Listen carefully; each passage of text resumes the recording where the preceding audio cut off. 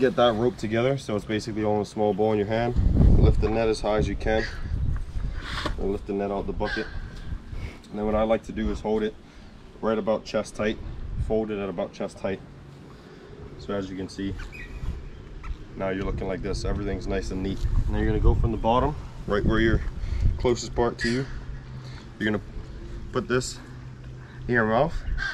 You're gonna go about four feet up. Put the next part in your mouth. So you got two parts in your mouth. Take the outer side of the net, and then you're gonna go in a drone motion like this. Nice cast.